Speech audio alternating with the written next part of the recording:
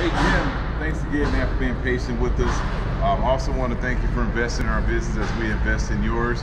Um, here's your Skyjack scissor lift.